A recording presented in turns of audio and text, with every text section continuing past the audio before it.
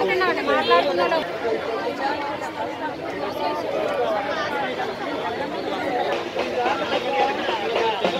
Three months back మాకు Covid నైన్టీన్లో recruitment కావాలని చెప్పేసి ఏఎంసీలో ప్ర ప్రభాకర్ సార్ ఉన్నారు కదా?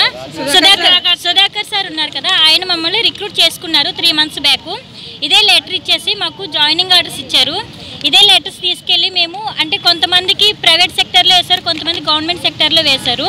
కొంతమందికి ప్రథమ హాస్పిటల్ అని కేర్ హాస్పిటల్ అని గీతం అని అలాగా కొన్ని కొన్ని హాస్పిటల్స్ ఇచ్చారు.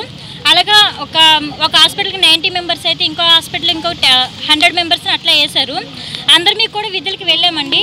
మాకు అంటే seven days duty seven days quarantine అట్లా ఇచ్చారు. అలాగే సిక్స్ మంత్స్ పీరియడ్ అని చెప్పేసి కాంట్రాక్ట్ బేసిక్ అని ఇక్కడ మెన్షన్ చేశారండి. కాంట్రాక్ట్ బేసిక్ అన్నారు కదా మాకు న్యాయం జరుగుతుంది. అంటే మాకు ఫర్దర్ మాకు మళ్ళీ యూజ్ అవుతుంది. ఇంతవరకు ఎప్పుడు కాంట్రాక్ట్ బేస్లో తీసుకున్న వాళ్ళని ఎప్పుడు కూడా రిటర్న్ పంపించడం అనేది లేదు. నెక్స్ట్ జగన్ గారు మాకు ఎలాగ న్యాయం చేస్తారు మాకు అది ఫర్దర్ యూజ్ అవుతుంది అని చెప్పేసి మేము నమ్మి అందులోకి వెళ్ళామండి. వెళ్ళిన తర్వాత కోవిడ్ చాలా ఎక్కువ ఉందండి. ఈవెన్ పేరెంట్స్ కానీ ఎవరు కూడా కోవిడ్లోకి వెళ్ళొద్దు అన్నా సరే మేము వినకుండా మాకు ఫర్దర్ మేము చదివినందుకు మేము న్యాయం చేయాలమ్మా మాకు ఒక ఆపర్చునిటీ వచ్చింది.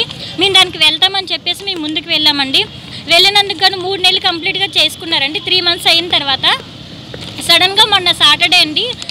ఫ్రైడే నైట్ అండి. ఫ్రైడే నైట్ నైట్ డ్యూటీ చేసేసండి రేపటి నుంచి రావద్దు అని చెప్పేసి ప్రథమ హాస్పిటల్ వాళ్ళు ఇంకా డ్యూటీస్కి రావద్దు అని చెప్పేశారు.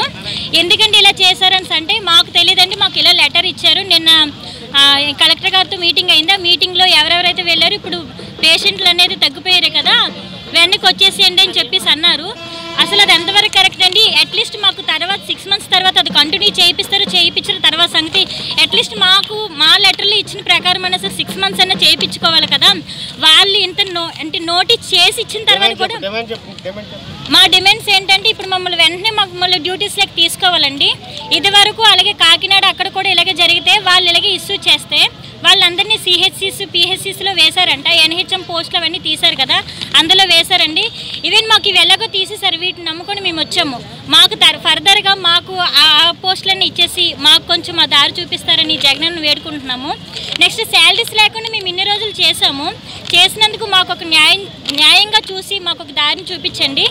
అట్లీస్ట్ ఇందులో ఇచ్చిన దాని ప్రకారం అన్నా సరే మమ్మల్ని ఉంచుకోవడం చాలా బాధాకరంగా ఉందండి. వీటిలో చేసామంటే ఇంటికే రానివ్వట్లేదు. అలాంటిది హాస్పిటల్కి ఎలా చేశారండి అందులోని వాళ్ళు వాళ్ళు ఏంటంటే వాళ్ళు ఉండమని ఎంతన్నా సరే వద్దమ్మా వెళ్ళకండి అని చెప్పినా సరే లేదు మేము వెళ్తామని ముందుకు వచ్చినందుకు ఇప్పుడు వీళ్ళు ఇలా చేశారు మేము వెనక్కి వెళ్ళి ప్రైవేట్ జాబులు చేయలేము. చేయలేమంటే వాళ్ళు తీసుకోలేరు వాళ్ళు మమ్మల్ని తీసుకోరు కన్ఫామ్గా. మేము ఇలాగ ఇంకా రోడ్డున పడి ఇలాగ ఉన్నాము మాకు ఎలాగైనా న్యాయం చేయాలి. జగన్ గారు మమ్మల్ని అర్థం చేసుకొని జగన్ గారి దగ్గర మాకు న్యాయం జరుగుతుంది. ఆయన నమ్ముకొని మేము ఇందులోకి వచ్చామండి.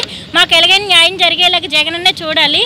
హాయ్ వ్యూస్ వైజాగ్ విజన్ ఛానల్ని సబ్స్క్రైబ్ చేసుకోండి. మా ఛానల్ అందిస్తున్న జాతీయ అంతర్జాతీయ స్థాయి వార్తా విశేషాలు నోటిఫికేషన్స్ కోసం ఇక్కడ కనిపిస్తున్న బెల్ ఐకాన్ని క్లిక్ చేయండి.